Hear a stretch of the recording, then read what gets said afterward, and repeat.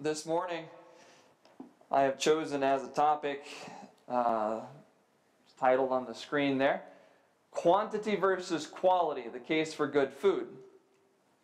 And I'm going to talk to you about food. And I'm going to bring out a few object lessons from the discussion that I think are relevant to our uh, spiritual life. And as we read for the scripture, I'm going to start with 3 John chapter 1. There's only one chapter. Verse 2. It's on the screen there for you to read, but we've read it or you've heard it already. Uh, 3 John, verse 2. Beloved, I wish above all things that you would prosper and be in health, even as your soul prospers. Paul, excuse me, John here, rather, is writing to a well beloved friend in verse 1 whose name was Gaius. Gaius was a common name in uh, the first century. And uh, we don't know much about who Gaius was. So we know very little, in fact, about him, other than what's here in this uh, epistle. And there's some speculation that this may have been the Gaius that Paul knew, or there were several others in the New Testament. But point being, John's writing to a friend. And to his friend, we read in verse 2 that he wishes three things for Gaius. He wishes prosperity, he wishes health, and of course, spiritual prosperity. I'm going to put those on the screen there one at a time. The first thing that uh, John wished for Gaius was prosperity. And literally, the Greek word there means to have a good journey. Now, Gaius wasn't going anywhere, and John was not telling him to have a good trip. Unless you're talking about the trip of life. And that is what John was talking about. In general, the word means to be successful, to uh, prosper financially, temporally. You'll notice here 1 Corinthians 16, verse 2, that Paul was writing to the Corinthian church, and he was talking to them about offerings that they should take up uh, for, for, of course, the service of the Lord's house. Upon the first day of the week, that would be Sunday, by the way, uh, let every one of you lay by him in store. That is, take your funds on Sunday morning, some, sometimes Sunday at least, and put those in a spot in your house where they'll be safe for the rest of the week. Uh, historical commentary on that verse is that people in those days may have been paid early in the week rather than us traditionally who are paid based on a two week schedule or a bi monthly schedule or at the end of the work week.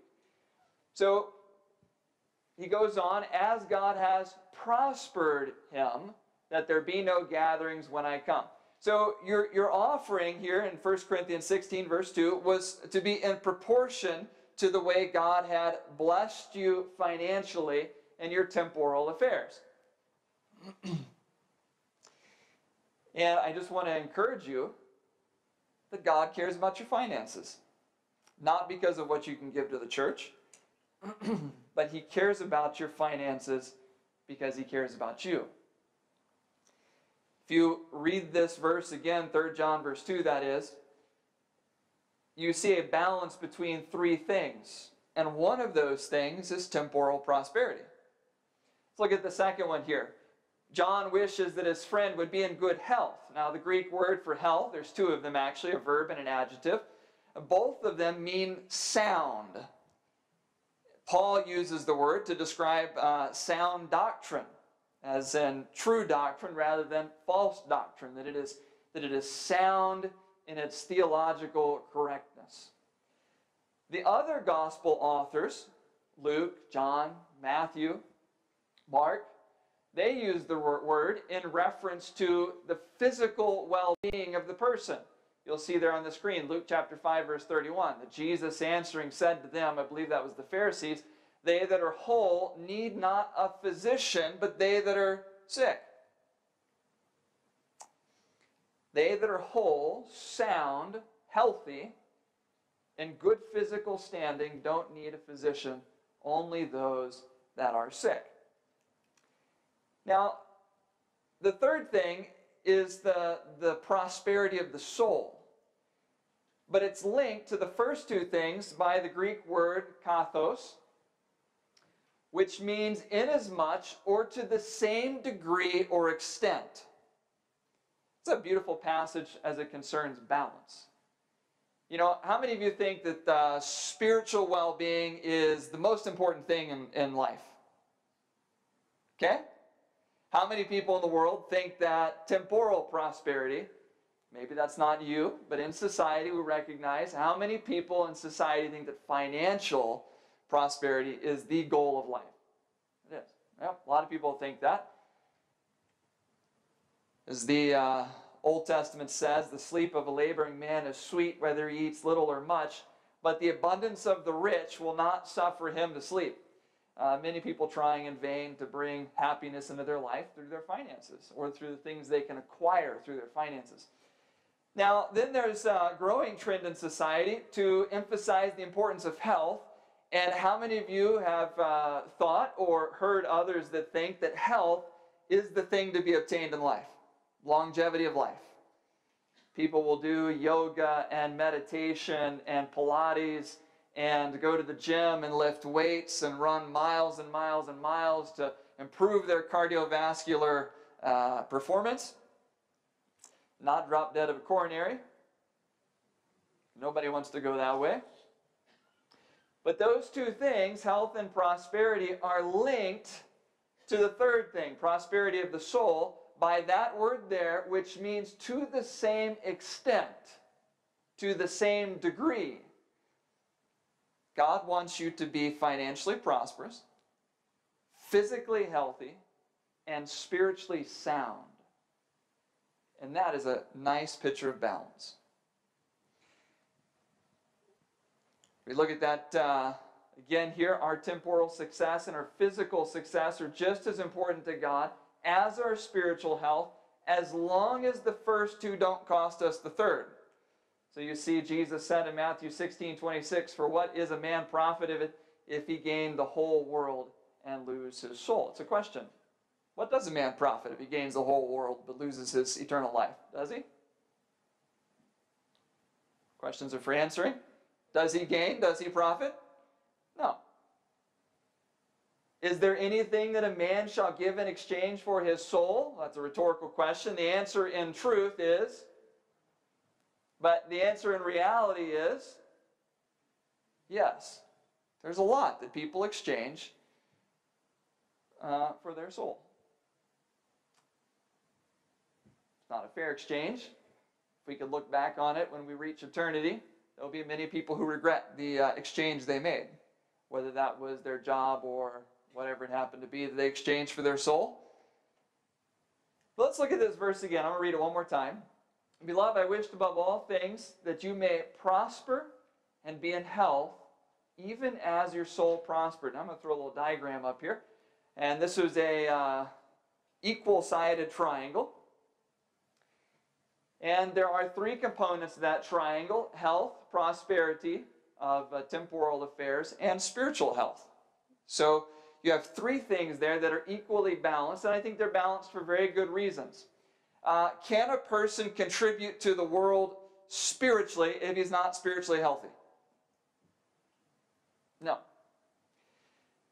Does proper spiritual health provide a basis for obtaining physical health? Yes, it does. Uh, you believe that the Lord created the human body, yes? And you would believe, therefore, logically, that the creator of the human body knows what's best for the body to keep it healthy, correct? Okay? So without a proper spiritual perspective, there can't be a proper spiritual perspective on health. Uh, namely, that God, again, knows best for the body. Now, can you contribute to your financial standing uh, without a proper spiritual perspective?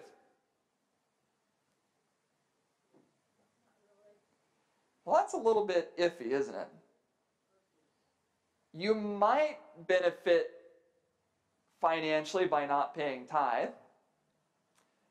Uh, but that's not what the promise says in Isaiah, is it? If you return unto me the tithes and offerings, what does he say? I will make you to What? He'll pour out the windows, uh, blessings from the windows of heaven, so that you cannot receive it. Okay? Can you, um, let's look at this from a different perspective.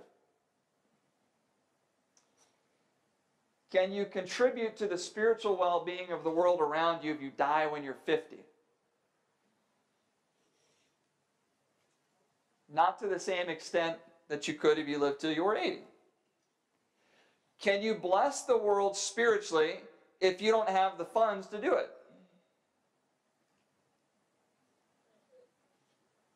In a limited capacity, you can by your influence.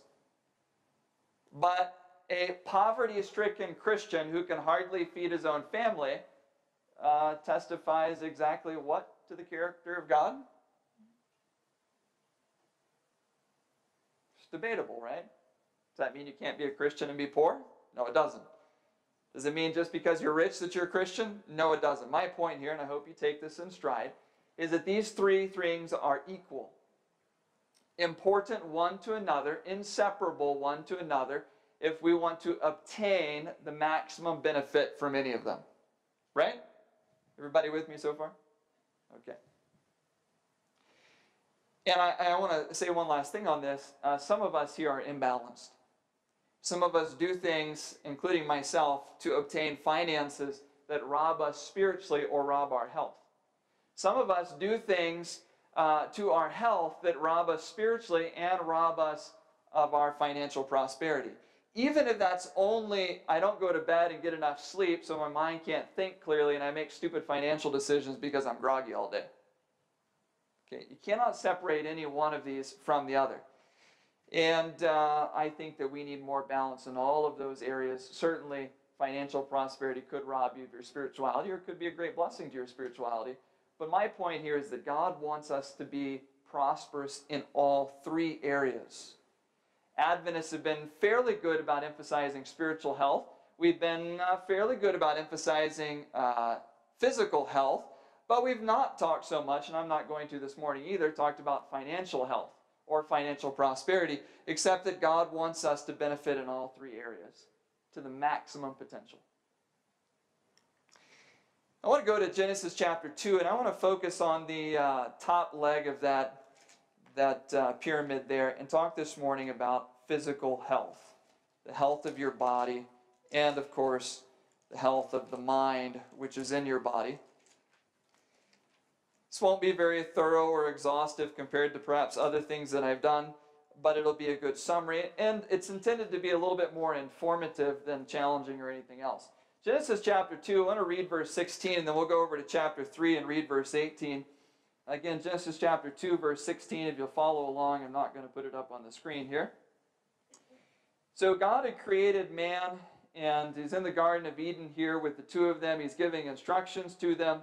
Verse 15 says that he put Adam in the garden to dress it and to keep it. And then verse 16, the Lord God commanded the man, saying, Of every tree of the garden you may freely eat. The original diet Genesis chapter 2, was to contain what items of food?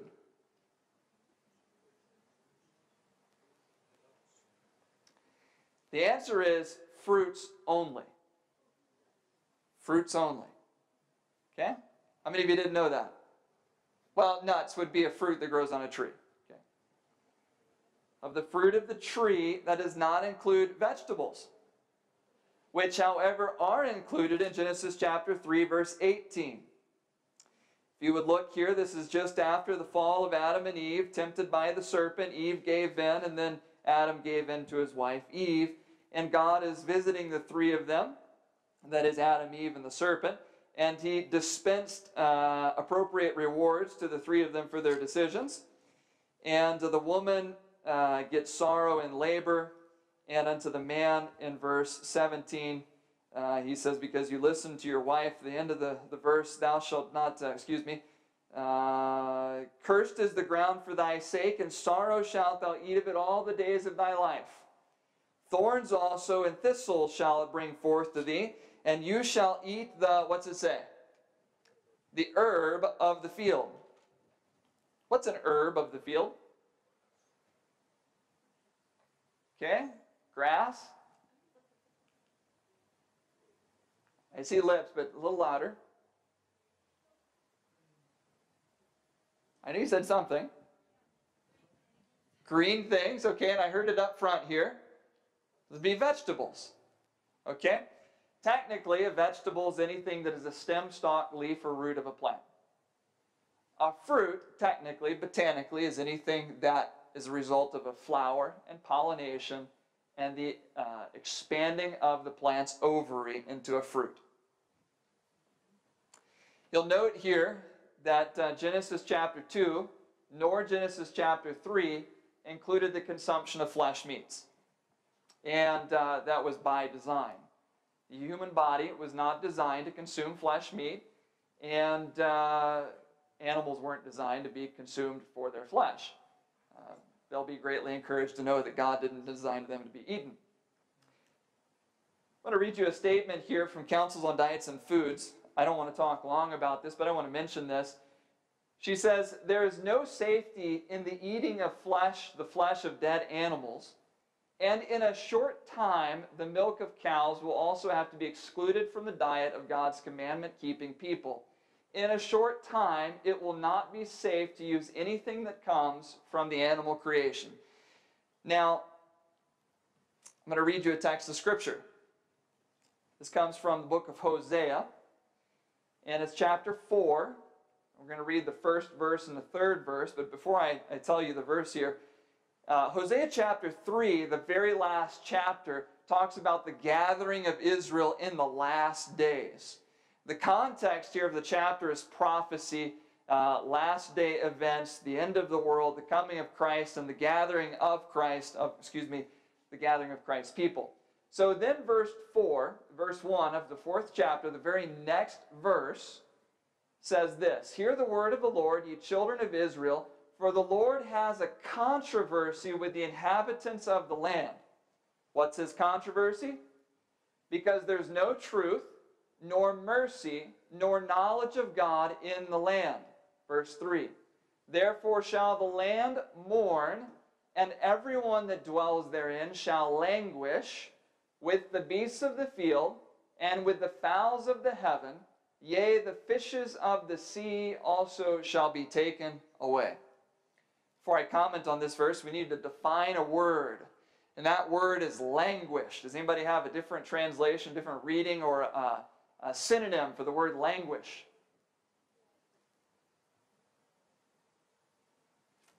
Somebody who read it in your translation have a different reading?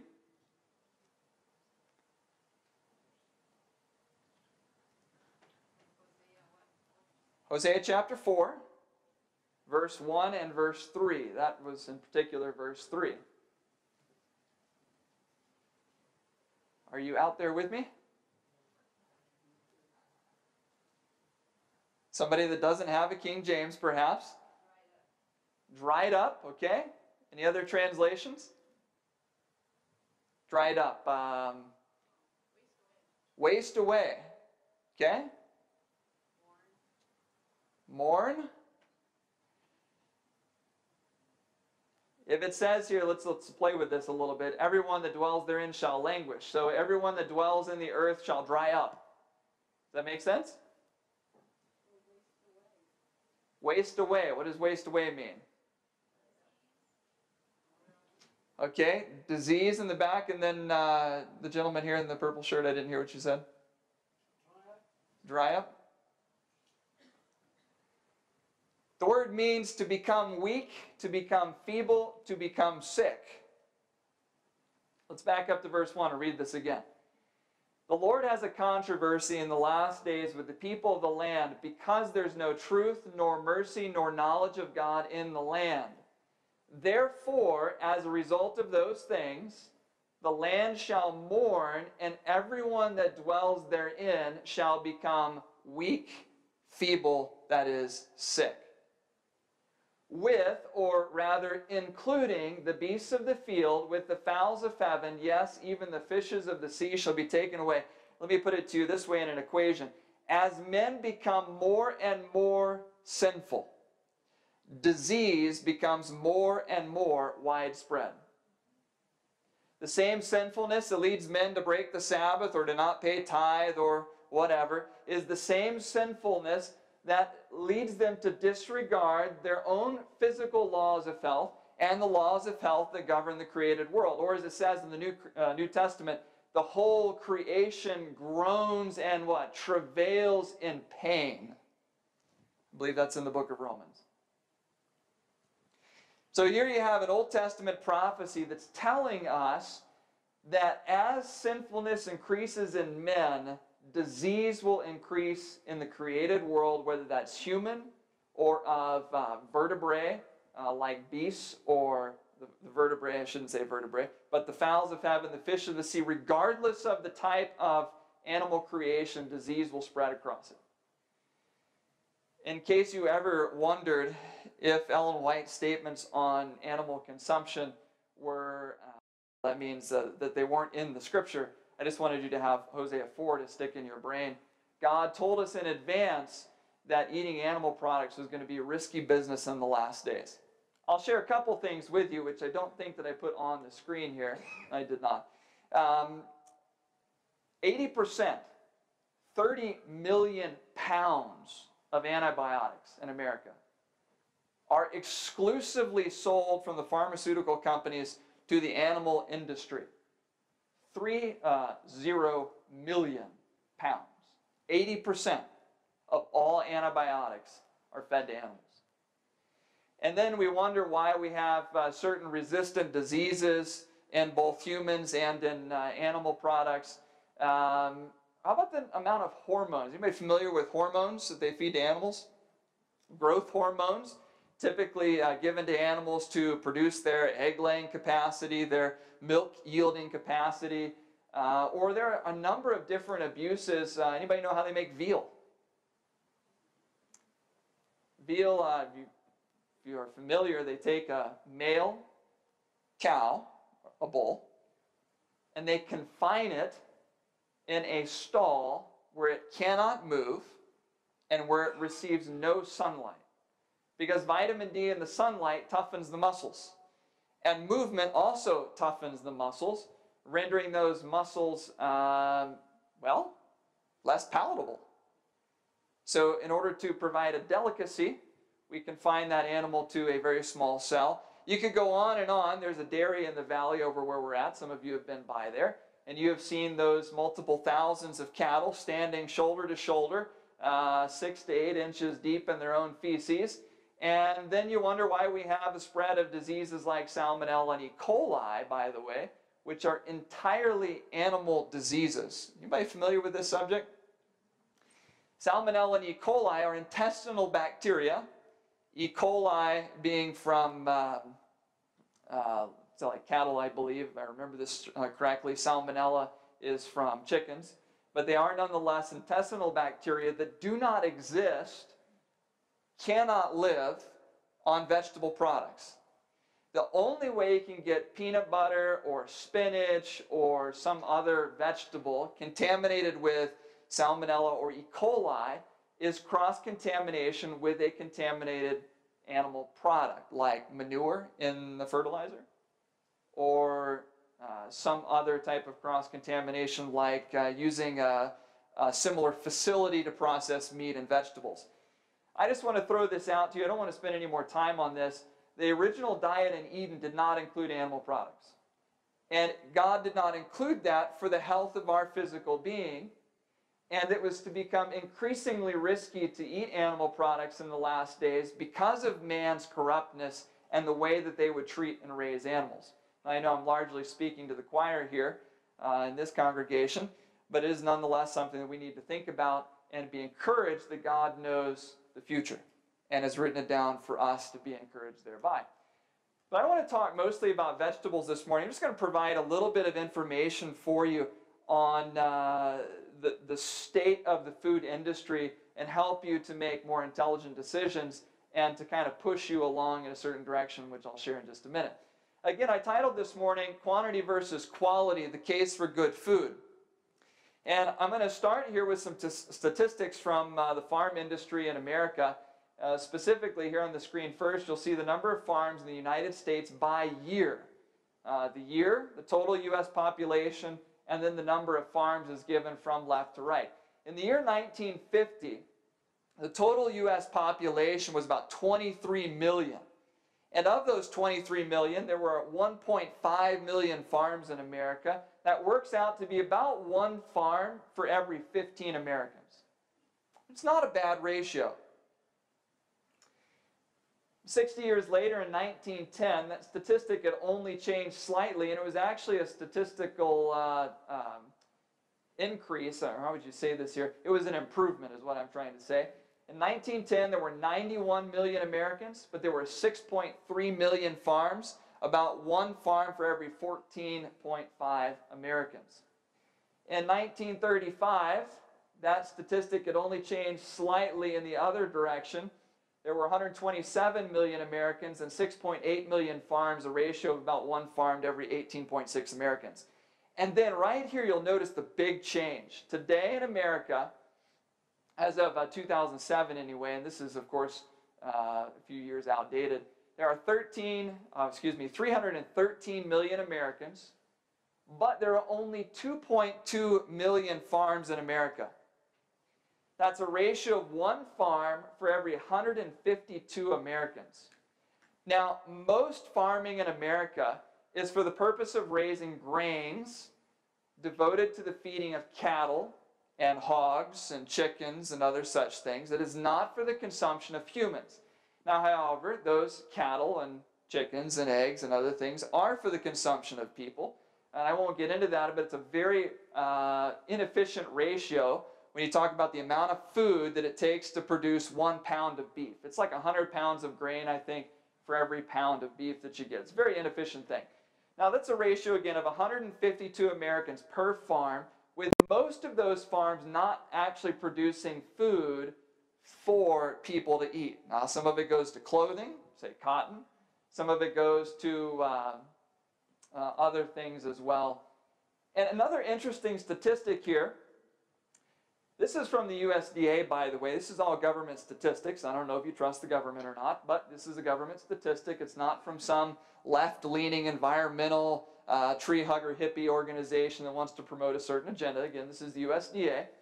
Their criteria for determining what a farm is was a census. So you are first and foremost dependent upon the honesty of the person answering the census. The second thing here is the criteria for determining what a farm was was an annual sales threshold of $1,000. Just want to ask you, how many of those 2.2 million farms are making less than $1,000 annually? The answer is more than half. It's a very large number of people that are making very, very little money. There are today in America more people in prison than there are farmers. There are more people in the correction system in America than there are people farming. And by the way, the USDA is the only government agency that is trying to put itself out of business.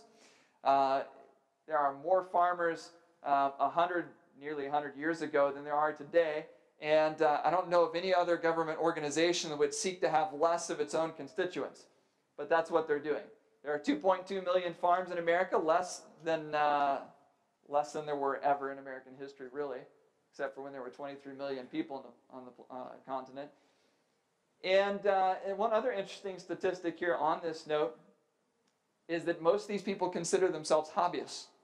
They're living in a rural area and their farm happens to be their residence, not their occupation. In other words, say that differently. Most people who put down that they own a farm find their primary source of income from some other occupation. So that 2.2 million is a very high number that doesn't really reflect reality. Uh, the real number is 1% of the American population that's actually farming today. Let's look at another statistic that will co coincide with the previous one here. This is the urban versus rural trend in America. In 1900, there were 39.6% of the American population living in an urban area. 40 years later, in 1940, 56.5% of the population lived in an urban area. but in the year 2010, the most recent statistic that I could find, 80% of the American population now lives in an urban metropolitan area. Now, I want you to notice here the correlation between those two slides. The change in farm to uh, population ratio occurred after 1935. The change of the ratio here dramatically changed from the uh, urban versus rural uh, stat here after the year 1940.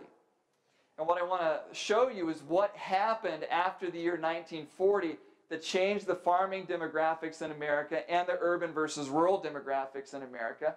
Um, but before I do that, I want to show you a quote here from Special Testimonies on Education. In choosing retired localities for our school, we do not for a moment suppose that we are placing the youth beyond the reach of temptation. So you're going to hear me say this again. Because you live in the country doesn't mean you're a saint. Because you live in the city doesn't mean you're a sinner. It's not salvation by rurality. But Satan is a very diligent worker and he's untiring in devising ways to corrupt every mind that is open to his suggestions. He meets families and individuals on their own ground, adapting his temptations to their inclinations and weaknesses. But in the large cities, his power over minds is greater, and his nets for the entanglement of unwary feet are more numerous. The shift in agriculture has led to a shift in American demographics from the rural areas to the urban areas where temptations are stronger and more prevalent. Well, there was a thing in the 1940s that started and culminated in the 60s called the Green Revolution. And the Green Revolution was a, uh, a transition period in American agriculture. There was four basic transitions in that time period. Number one was mechanized farming. Number two was improved, supposedly, crop varieties. And number three and four were chemical fertilizers and pesticides, respectively. And I say all classes of pesticide because a pesticide is considered anything that would include insecticides, fungicides, herbicides, uh, et cetera, et cetera. A, a chemical pesticide includes the whole category of those chemicals. And I want to look at these more or less one at a time, except for the first one. And I want to start with crop yield and nutrition. And uh, there are three basic criteria for selecting a new crop variety. And I want you to notice very carefully what they are because this is the most important thing that I'm about to tell you as it relates to food today. There are three basic criteria, the first one being yield. Will this new variety be a top performer? Will it be, in other words, efficient? If the, if the farmer drives his tractor across the field, is it going to give him the, the fastest fill on his combine per foot traveled. The most bushels per acre or pounds per acre. The second thing is appearance, because customers like you, like me, always go to the store and buy the dinged up, banged up, dented can box, right? No. Nobody in here walks into the grocery store thinking, I want to buy the ugliest tomato I can find. We like things round. We like them uniform. We like the color right. You know, if it's got a pimple on the potato, we don't want to eat it. If it's got this warty looking thing on the apple or a dimple where the worm went in, we don't want to eat it. So we buy the things that are cosmetically perfect. The third thing, of course, is pest resistance. They breed crops that are uh, genetically or physically um, resistant to pests, corn earworm or potato beetle or whatever. So let me give you some statistics here on how successful we've been at this. In the year 1950, which by the way, say at the bottom of the screen, for years and years and years, the USDA has compiled the nutritional data on every crop harvested in America. Uh, it's a massive uh, project by itself. And again, this is a government statistic. They've compiled the data on all these crops, their, their nutritional data, their yield data, uh, et cetera, et cetera. And this one here first is their yield data from 1950. I want to read through these here. In 1950, if you were a farmer, you could expect to harvest 1,500 to 2,200 pounds per acre of rice. Add 50 years to that in the year 2000, and look at that 195% increase in yield, going to 6,500 or 7,000 pounds of rice per acre. If you could improve something in your life by 195%, would you do it? Depends. How about beans? 600 pounds of the acre. 50 years later, 16 to 1700 pounds of the acre. Wheat, the same thing. 12 to 15 bushels in 1950. In the year 2000, 40 to 45 bushels per acre. Uh, corn, 20 to 40. You're going to see a big jump right here. 20 to 40 bushels per acre on corn in 1950. In the year 2000, 150 bushels per acre. That's a 275% increase in yield over a 50 year period. And the potatoes is the big one here. If you were a farmer in the year 1950, you'd get 7,000 pounds of potatoes per acre. 50 years later, read that number 39,000 pounds of potatoes per acre. That's almost a 500% increase in yield. If I could promise you a 500% increase in your prosperity in life, would you go for it? Ah, good question. I like Red back there. He's thinking here. And the question is, well, what did they sacrifice? So the same government compiling is again, I said, the nutritional data of those very crops. Uh, that data was taken by some researchers at the University of Texas, and they compared 43 vegetables that were grown in the year 1950 that were still being grown in the year 1999. As a group, they found that the nutritional value of those crops had dr dramatically decreased. I'll give you some specifics there. Calcium had decreased by 16%, 15% decrease in iron, 15% decrease in ascorbic acid. What's that, by the way? Vitamin C. Phosphorus decreased by 9%. Riboflavin, 38% decrease. What's riboflavin? Vitamin B2, actually, I think. It's up for debate there. And a 6% decrease in protein. That's on the general, that's on the whole. That's an average. If you look at some specific crops, it was much less encouraging. Corn, 50 years later, had 78% less calcium, 26% less phosphorus, 50% less riboflavin, 43% less ascorbic acid, but he did see a modest increase in iron by 4%. Tomatoes, I picked this one here because everybody knows in the last 50 years, the flavor of tomatoes has hit the tank and drowned at the bottom of it. 55% less calcium, 25% less iron, 11% less phosphorus, 17% less ascorbic acid. However, they did see a 20% increase in riboflavin. How many of you have ever had sea salt? Does it taste the same or different than regular table salt. Tastes the same? It does taste just a little bit different. No sugar. I don't add sugar to my salt.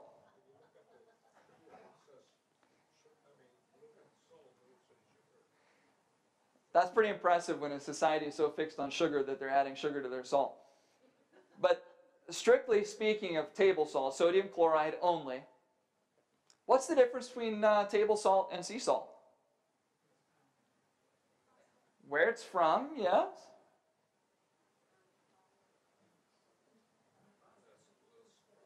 Processing.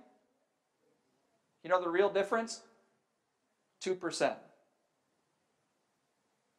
2% extra minerals in sea salt or rock salt that's not in processed table salt. If you want to know why sea salt tastes just a little bit different than regular table salt, it's that 2%. And that's why your tomatoes don't taste like they used to when you grew up as a kid eating your grandmother's tomatoes off her garden. You know, the produce that you're buying in the store today might be cheap because we've industrialized agriculture. But the cheapness comes at a cost, and the cost in America has been nutrition. Where the foods you eat today have less quality, have less flavor, and have less benefit to you nutritionally because of the very practices that increased their yield or increased their resistance to disease or increased their cosmetic appearance. Those crops, in other words, were selected for those traits, but nobody was really concerned about growing the crops that also were good for you. I titled the next slide, Bombs Away. A little bit of history here. Nitrogen was originally used to make uh, ammonia, which was then used to make ammunition during World War II. Some uh, creative scientists figured out that nitrogen was also a really good plant fertilizer. And when World War II ended, guess what? They had lots and lots and lots of extra nitrogen kicking around the country because of those 12 nitrogen processing plants that they built in America to build bombs and other things. And so somebody's got a big stockpile on their hands. And what do you do with excess nitrogen? Well, by the way, before I get to that, this is a picture of the city of West in Texas. You've seen the news recently. Let me come down here for just a second. No, it's not Willcox. This right here is the West Fertilizer Plant this over here is a middle school. Just below it, which you can't see would be down there, would be the high school. This right here is a uh, nursing home for seniors. That is a, it wasn't a joke, that's really what it was. That's a tennis court, that's a playground for kids. There are other housing developments and complexes behind that. Would you like to know what a couple tons of ammonia fertilizer sitting around a fire-laden fertilizer plant will do? Well, that's what it does. Okay? This is why they used ammonia in the munitions during World War II, because those fertilizers go boom. If you've seen a video of that, by the way, there are videos on the internet. You ought to check out how powerful a couple tons of ammonia sitting around is. It literally sent a shock wave through the town for several miles. Huge explosion. Just a couple tons of it. So, of course, what do we do? Let's put it on the ground.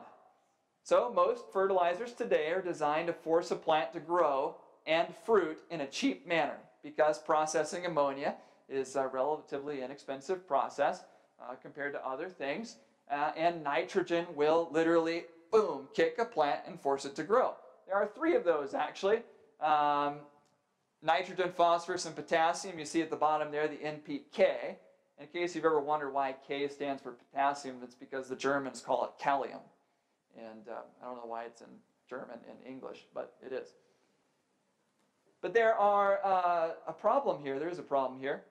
There are 13, at a minimum, essential plant nutrients today for plants. That's what science tells us. A minimum 13. But when you go to the store and you buy a bag of fertilizer, it'll have three numbers on it. And those three numbers, most of you know, are your nitrogen percentage, your potassium percentage, and your phosphorus percentage. I said the last two in reverse order. Well, what about the other 10 plus? you don't need those to force a plant to grow. See, to farm profitably today, you use a minimum. This is standard business practice, by the way you cut down on your inputs, your expenses, and you jump up your revenue, right? So the less things you have to buy to put on your farm's fields, the more profit you have at the end of the day. But what you wind up with is an essentially hollow crop because you're forcing the plant to grow with certain plant chemicals, synthetic ones in particular, nitrogen, phosphorus, and potassium, but neglect the other is nutritious for you. One of those being calcium, which you saw dramatically decreased on the previous two slides. Another really interesting thing about uh, chemical fertilizers today, when a bomb hits the ground, it makes a mess. And you take those same chemical fertilizers and you put them on the ground and, uh, oh, I almost skipped a statement here. This is from the University of Florida. This is from a uh, document they released a couple years ago, and I'll read it to you, it's relevant. In general, nutrient pathogen interactions are not well understood. However, you might say, plant nutrients may affect disease susceptibility through plant metabolic changes, thereby creating a more favorable environment for disease development. I wanted to show you that now because it's going to come back up later. When you talk about the health of you, the health of me, the health of a crop, that is somewhat determined by your nutritional uh, quality of life. If you are nutritionally deficient in some way, shape, or form, it makes you more susceptible to disease of some shape or form. So you guys know that. That's not uh, rocket science right there. But anyway, it's from the University of Florida pointing out the same thing is true with plants. If there's a problem with the plant's nutrient availability, it affects its metabolism and makes it more susceptible to disease of some kind or some form. So let's move on here. The third thing here is uh, I was going to say when a bomb hits the ground, it makes a big mess. And when you take the same chemical fertilizer and you drop it on the field of a farm, you know what it does? It makes a big mess. Because inside of the soil, uh, there are millions of bacteria, beneficial, and when those chemicals hit the ground, even if it's a fertilizer, many of them are salt based or they have really extreme pHs and they destroy all the microbial life in the soil. And uh, if you've, you've uh, any fascination with plants, I know Keith does, you'll know that the plants in the ground, particularly their roots, form symbiotic relationships with the, uh, the bacteria and the fungus in the ground. Well, here's another interesting st statistic. There are, don't gasp, one trillion, that is with a T, beneficial bacteria living in and on your body. Did you know that? When you grew up, did you ever watch? Uh, did you ever watch Charlie Brown? When nobody here watched Charlie Brown? Okay. All right. My favorite character in Charlie Brown, just kidding, was our favorite character. That was Pigpen. How many of you remember Pigpen? Pigpen was the little kid that always ran around, and he had the dust cloud that followed him everywhere. I just want you to realize right now you have a bacteria cloud. And the person that you're snuggling with in the pews if you're married, and the person that you're sitting next to has a bacteria cloud, and you're exchanging bacteria, and you thought it was just your influence that you were giving each other this morning. this is how people get sick. You don't think about it. But there are one trillion bacteria in and on the human body. It's an amazing thought.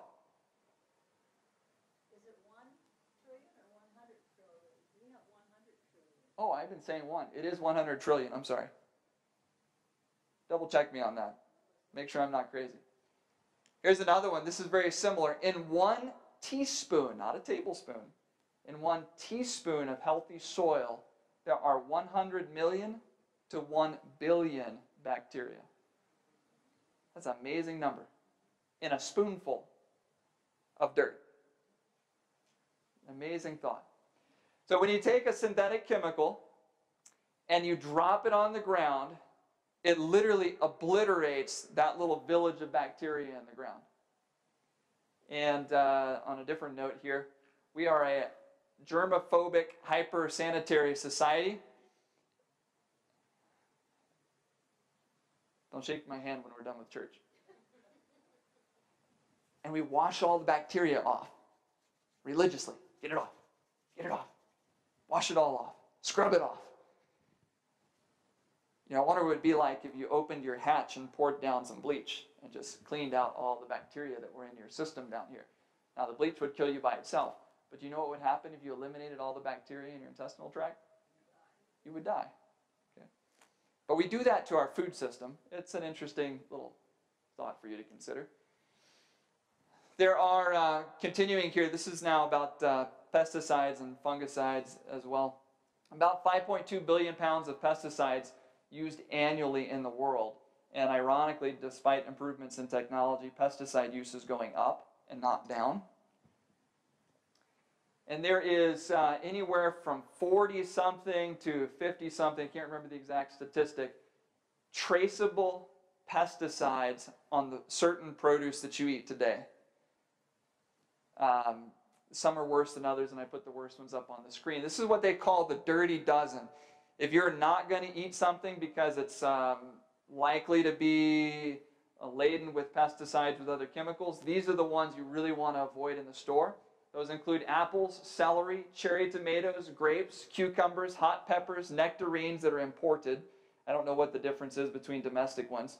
Uh, spinach, kale, and other greens like collards, strawberries, sweet peppers, bell peppers, that is, and potatoes. One of the worst ones I know you can eat is potatoes uh, because they use them specifically after other crops to pull things out of the ground. It's kind of an interesting thought right there. Um, what am I getting at with all of this? Let's go back to 3 John verse 2. I put it up here? I did not. 3 John verse 2.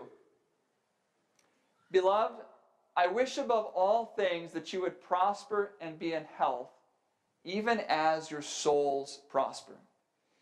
God desires for us to be financially prosperous, that is true. God desires for us to be uh, spiritually prosperous, and that is equally as true, certainly. But God also wants us to be physically prosperous as well. And I want to throw this out to you. I don't want to be extreme and fanatical on one side or the other, but I want to throw it out for your discussion. Are you interested in the food you eat? And how interested are you in the food you eat? We're all interested because of one thing at a minimum, and that's your palate.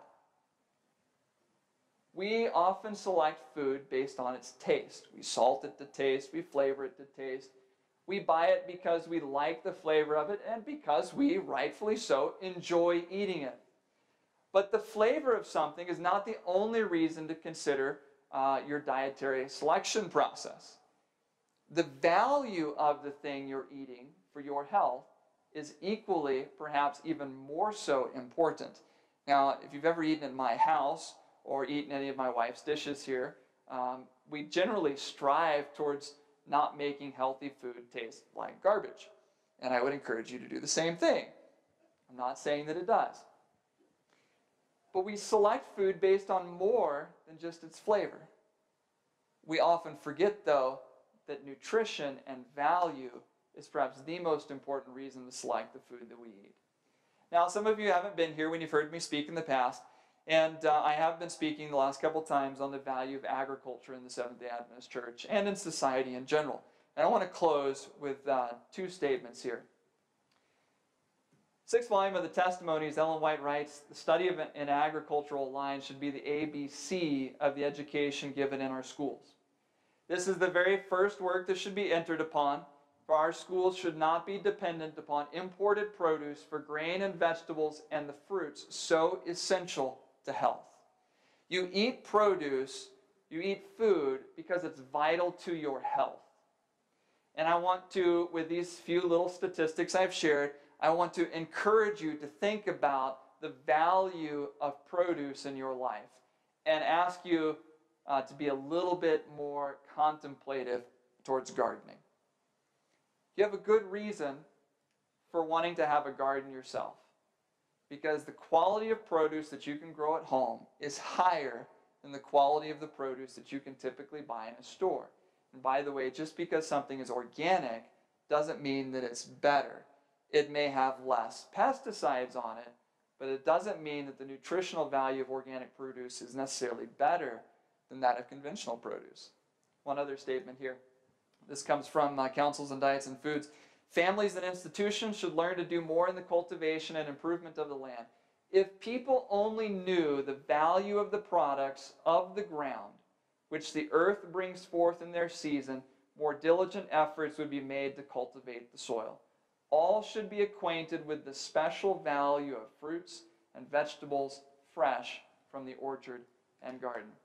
And when she uses the word fresh, the average plate of American food traveled 1,500 miles before you got to eat it. You may know how far 1,500 miles is. Say from here to where? South Dakota? It's a long ways. How far is it to El Paso? Just shy of 400 miles, I think, right? So now you can almost quadruple that. And think of where 1,500 miles takes you. It'd be a long ways past El Paso. To get a banana from 1,500 miles away to Benson, Arizona, requires what? That you pick it green. If you pick a fruit when it's biologically immature, it has also not obtained its nutritional maturity. And you are eating, by default, nutritionally inferior produce. All should be acquainted with the special value of fruits and vegetables fresh from the orchard and garden. And if we understood the value of the products of the ground, which the earth brings forth in their season, more diligent efforts would be made to cultivate the soil. I want to encourage you again, just think, just really to contemplate on the value of having a garden at home for yourself. I'm going to summarize with a couple of, uh, of uh, things that won't be on the slides here. Number one, we talked previously about the spiritual benefit of agriculture, of farming, of gardening. That every time you're out in your garden staring at a tomato, staring at a potato or raspberries or digging in the dirt, there is a lesson there for you. And I think between your physical health and your spiritual health, the offer of agriculture to you is worth your investment in it. Let me give you some examples. If you take a synthetic chemical and you pour it on the ground, it has an effect, a negative one, on the microbiology of the soil. What influences do synthetic uh, stimuli have on the soil of your heart? Have you thought recently about the quality of the uh, fertilizers that you're pouring onto your life? Whether that's television or music or friends or your job or whatever it happens to be. Is the thing that you're pouring onto the soil of your heart going to destroy or build up the fertility of your spiritual life? Have you thought about it recently? What are you putting into your life? Synthetics? Naturals? Have you thought about the fact that temptations are greater in the city? And that to farm means you have to have something land. And the bigger your farm, the further away you have to be from your neighbor. Have you thought about that? We live in the little cookie cutter plots in the city where our neighbors are able to stick out their hands and shake ours through their window. Are your neighbors a good influence on the soil of your heart? Are you selecting the, the things that you put into your life based on the entertainment and the flavor value they give to you? Or are you selecting the things you put into your life because of the quality that they will bring to your spiritual life? Just one object lesson. As you think through these slides, I think there are others. Uh, for example, another one is should a Christian really treat an animal in such a way as modern agriculture treats it? Is that a lesson for us in the viability of life? Would you treat your neighbor like people treat their cow? Some do. Would your neighbor be happy? Could you confine your neighbor to a cell and love your neighbor as yourself? You know, when you really start to think about it, there are a lot of things that, that would teach us about the spiritual life, that would make us better Christians. And certainly those are, are a couple of them, and there are many, many, many others that we should think about. There is a value for us in thinking about farming, gardening, agriculture. It's all the same thing, different size and different scale. But the value that it brings to us spiritually and the value that it brings to us physically in regard to our health. Do you really want to put your spiritual or your physical health into the hands of some corporate or bureaucratic or political institution? When the most important things you have are the things you put into your mouth and the things you put in your brain, it would be well for us to put it in our own hands and to make sure that we're feeding ourselves the best that we can possibly be. Will it mean there won't be temptations? Nah. Because temptations come from right here, not from out there. I hope this stimulates your thought. It's a little bit different than anything I've done here in the past. I do hope, again, though, that you'll think about it, contemplate it. There's a benefit here that we need to experience, and I ask you to think about this morning. Let's pray.